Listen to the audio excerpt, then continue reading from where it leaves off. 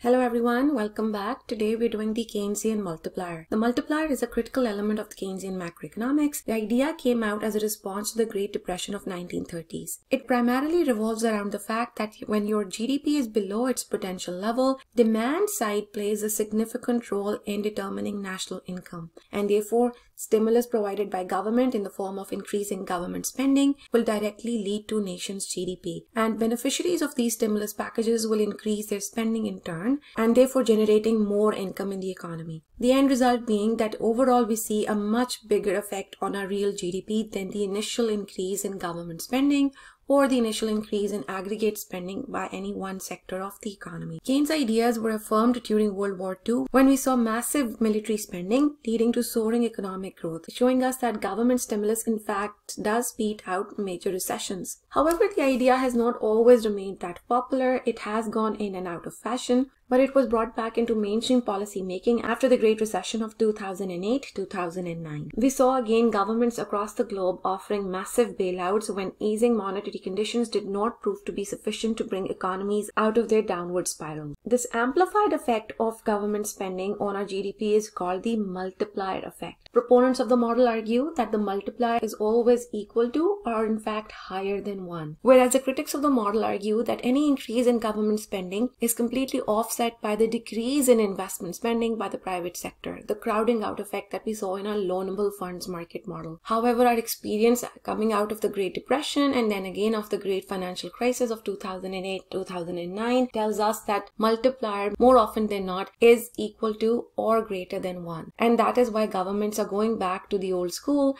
and using government stimulus packages to revive economies. Most recently, we saw this during the COVID-19 global pandemic, where again we saw massive bailouts being provided to the private sector by the government in US, Canada, UK, and across the globe. Let's now look at the model. We will go over a simplified version of the income expenditure model, also referred to as the Keynesian cross model, and look at how the multiplier is derived. Understanding the derivation of the multiplier will also help you understand how does this amplified effect actually transpires in our economy. So we'll start with the consumption function. Consumption, remember, is a component of our aggregate demand or aggregate expenditure. The aggregate consumption function of our all households in the economy can be split into two parts. We have autonomous consumption over here, which is AC. So this is the consumption that is exogenous to the model. It does not depend upon our income. So even if income is zero or a million dollars, you will consume some basic goods and services and that's your autonomous consumption. However, the second component of your consumption depends upon your income and this is positively related to our income. Higher our disposable income, higher will be our consumption. Lower our disposable income,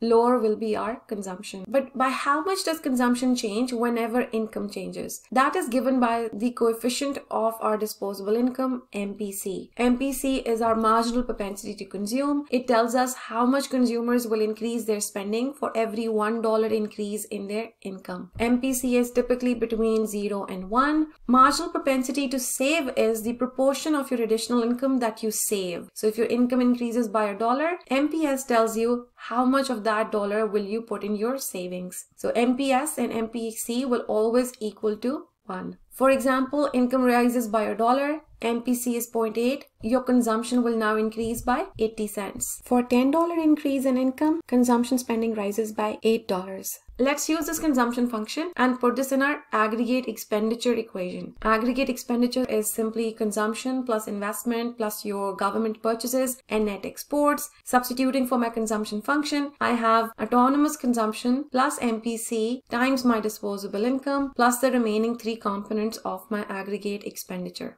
Next, to keep things very simple, we're going to assume that there are no taxes in transfers. So if there are no taxes in transfers, my disposable income is equal to my overall national income. So y minus t plus TR. These two are now both zero. Disposable income is now simply equal to our GDP. I will now use this equation in order to solve for our multiplier. The first step is we are going to use our equilibrium condition, which is that at equilibrium, GDP is equal to our aggregate expenditure. You can think of this as your expenditure approach to calculating real GDP. Overall spending on final goods and services produced in an economy will always equal the real income or real GDP for that economy. So substitute substituting for my aggregate expenditure equation over here. And within this, I know it's autonomous consumption plus MPC times Y plus I plus G plus net exports. I'm further assuming that my planned investment does not depend upon income, government purchases do not depend upon our income or on our real GDP, and net exports are also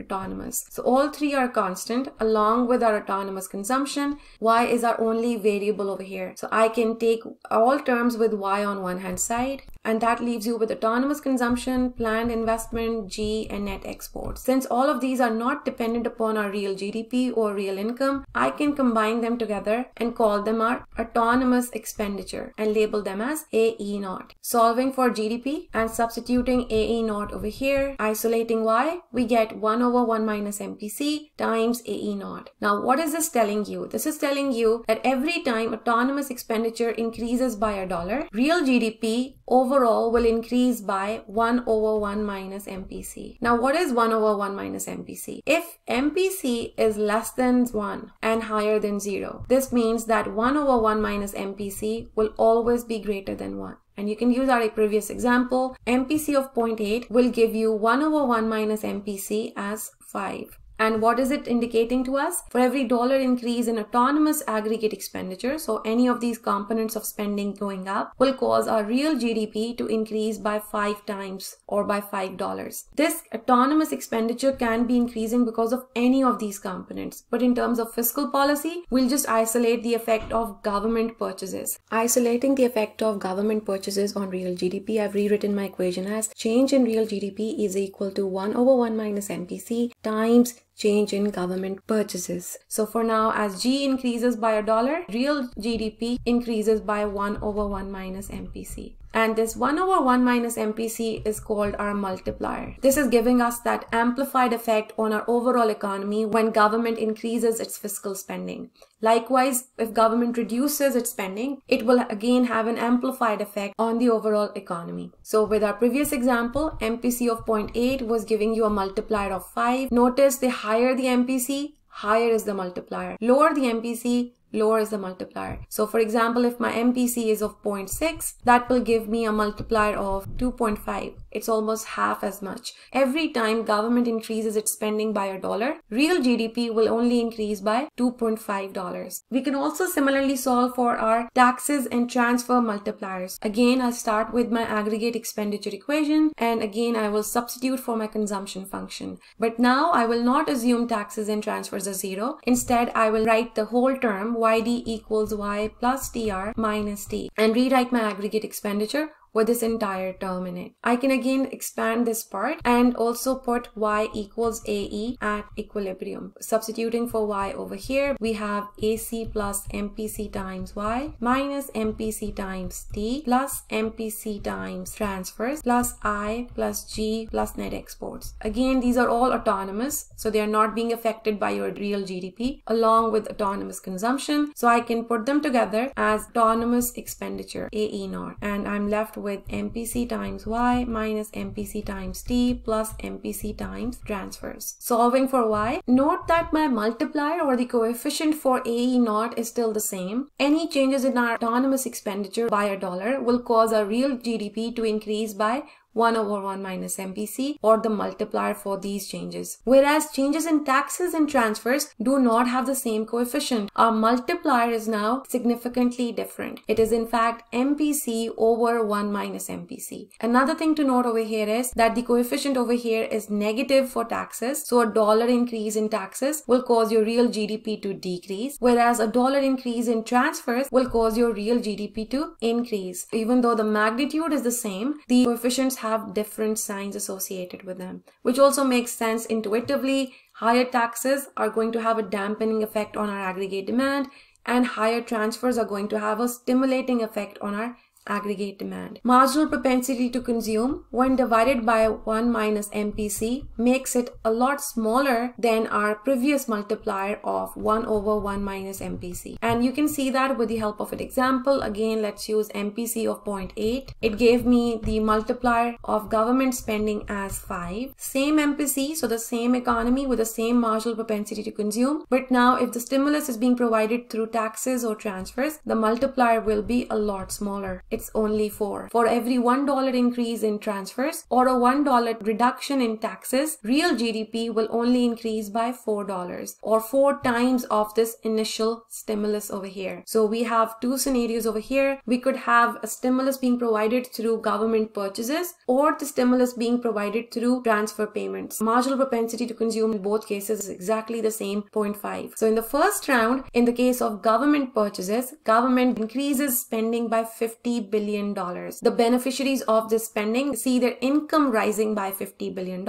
and hence in the second round, they increase their consumption by 0.5 times $50 billion, which is $25 billion. If consumption is rising by 25, that means GDP is rising by $25 billion. So again, this will cause a third round of increased spending. In this case, our consumption will rise by 0.5 of 25, which is 12.5. And this process will keep on going on. And overall, you will see that real GDP in this case is increasing by $100 billion. So we have summed up all of these rounds to see the overall impact on the economy because of this initial increase in government purchases of $50 billion. So we can either sum up this whole series or instead we can simply use our multiplier. With an MPC of 0.5, my government purchases multiplier is 2. And that is telling you that increase of government spending by $50 billion will cause my real GDP to change by $100 billion. Now let's compare what happens if the stimulus is being provided through transfer payments. So in the first round, government increases transfers by $50 billion. So they're providing a stimulus of 50 billion. However, this stimulus is increasing my disposable income by $50 billion.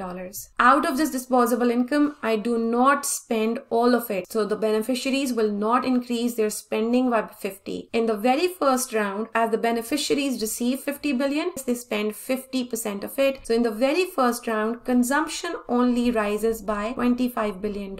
And now in subsequent rounds, someone's spending is someone else's income. Again, consumption rises, therefore GDP rises and so on and so forth. But because of this first round, a part of that initial stimulus was absorbed by household savings. The full $50 billion never entered the economy. And the overall effect on your real GDP is significantly smaller than the impact over here. Alternatively, we can simply use our multiplier and see what will be the impact of this $50 billion given an MPC of 0.5. So with MPC of 0.5, I know my transfer multiplier is MPC over 1 minus MPC, which gives you a multiplier of 1. If households in the economy have a marginal propensity to consume of 0.5, a dollar increase in transfer will also affect your real GDP in total by just $1. So now it's just a one for one change. And that's exactly what we saw in the total summation over here. We we have overall transfers increased by $50 billion and real GDP also increasing by $50 billion